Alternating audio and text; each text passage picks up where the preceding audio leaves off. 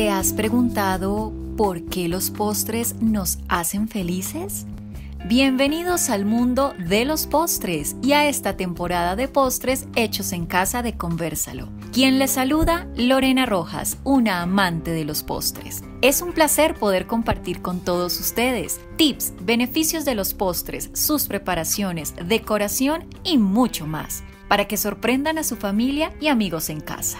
Tendremos también invitados que compartirán con nosotros recetas caseras y más secretos, para que ustedes se conviertan en los protagonistas de sus reuniones, regalen sonrisas y dulces momentos. En este episodio vamos a conocer más sobre el significado de un postre y de su historia, por supuesto. Quiero entonces que en este momento se dejen guiar y llevar por sus sentidos para que puedan descubrir toda la magia que contiene un postre y experimenten toda una dulce experiencia. Comenzamos. Imaginen por un segundo la vida sin su postre o dulce preferido. Mm, creo que el panorama se torna un poco gris. Y esto se debe a que el dulce nos alegra la vida, ya que el principal objetivo de un postre es agradar al paladar de todos.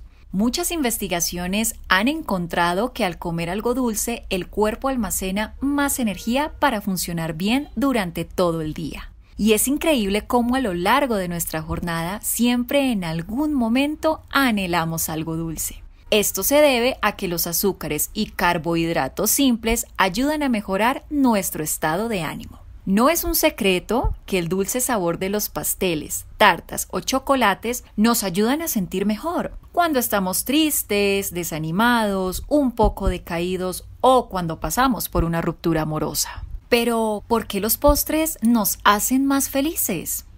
Les quiero contar que los postres aumentan los niveles de determinados neurotransmisores, los cuales están encargados de transmitir información entre las neuronas del cerebro y a su vez funcionan como antídotos de la tristeza y el estrés. Increíble. Entre estos neurotransmisores encontramos la dopamina, la serotonina y la adrenalina, los cuales están vinculados con el bienestar emocional. Así que a disfrutar de tu postre preferido.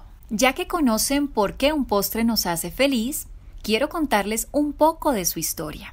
Estas delicias nos han acompañado desde nuestros antepasados. De hecho, fue en el Imperio Romano donde hacían festines que incluían diferentes tipos de platos, y entre cada plato salado consumían o una fruta o panes con miel. Dentro de los postres más antiguos encontramos a la tarta de queso, que tiene su origen en la antigua Grecia en el año 776 a.C. Ese delicioso sabor de los postres se encuentra en todo el mundo y es aceptado por todas las culturas, siendo de hecho uno de los sabores más placenteros para el ser humano. Y por si no lo sabías, son las papilas gustativas de la lengua quienes detectan este maravilloso sabor. No obstante, es importante recordar que los dulces y postres los debemos comer con precaución y en porciones moderadas. Pero no se desanimen, solo busquen un balance y encuentren ese mágico momento para saborear su postre preferido y elevar ese estado de ánimo. Tal vez el postre se ha convertido en ese plato dulce que simplemente acompaña y cierra con broche de oro una cena o una celebración.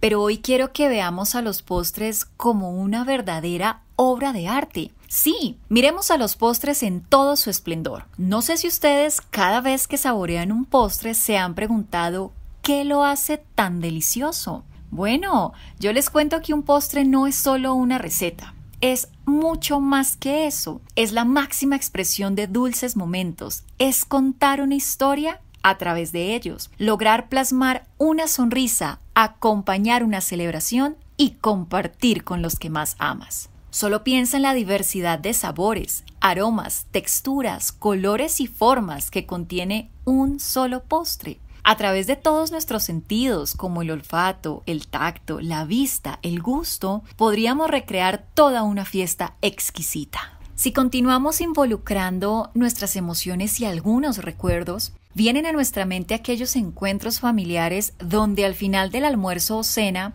esperábamos con ansias esa receta dulce de la mamá o la abuela, que al final eran preparadas con tanto amor y esmero? O solo piensen cuando invitan a sus amigos a tomar unas onces a la casa, Por supuesto, ese café, chocolate o té deben estar acompañados de un postre sensacional, no solo porque ustedes quedarán como unos buenos anfitriones, sino porque también regalarán momentos de largas pláticas, recuerdos y risas. En ese momento comprendes que un postre, tus amigos y familiares son la mejor compañía. Los postres, además de ser una dulce compañía, han sido reconocidos como un platillo exquisito, exclusivo y de buen gusto, porque son tan bellos y deliciosos que ninguno nos podemos resistir. Su reconocimiento ha sido tal que el 14 de octubre se celebra el Día Internacional del Postre. Pero no tenemos que esperar hasta esta fecha para homenajear a estos manjares y disfrutar de este placer de la vida y la pastelería. Cualquier momento es idóneo para deleitarnos con estas delicias. Y ahora sí, ya que conocemos todo esto acerca de los postres, podemos animarnos a hacer nuestras propias recetas. Y qué mejor que un rico postre casero que involucre los ingredientes y sabores que preferimos. Ustedes estarán preguntando que si el postre es un plato exquisito y exclusivo, pues no lo podré cocinar en casa. Pues no, yo les tengo buenas noticias. Lo más importante es que el postre sea elaborado con mucho amor, con ingredientes de calidad y con una linda y decoración se verán espléndidos. Así que manos a la obra.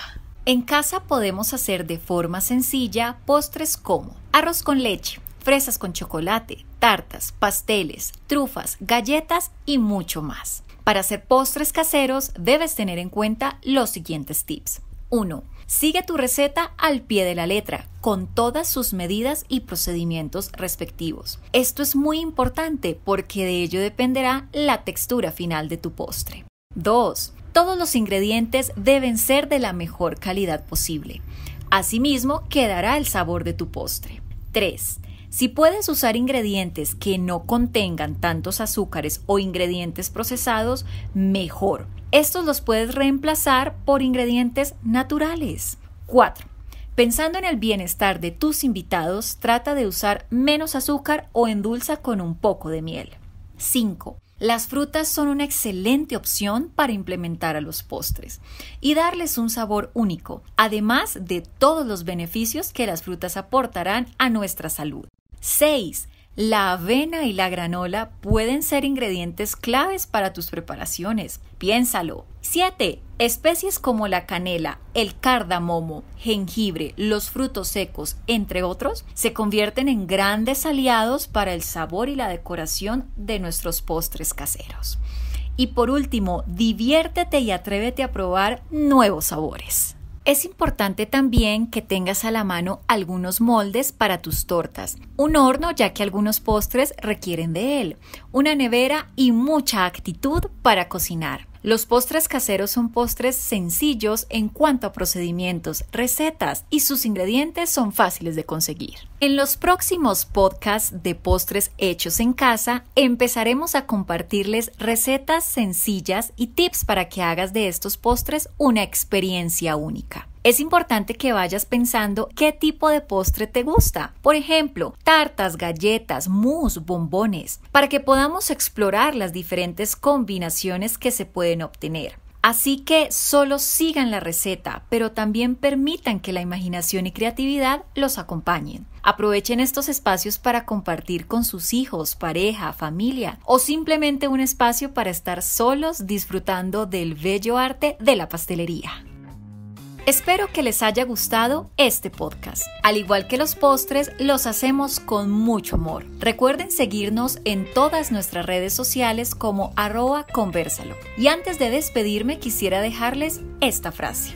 Con un postre pueden disfrutar dulces e inolvidables momentos y alegrar la vida. Sonrían, regalen y compartan un rico postre con su persona favorita. Conviértanse en un buen anfitrión. Hasta la próxima.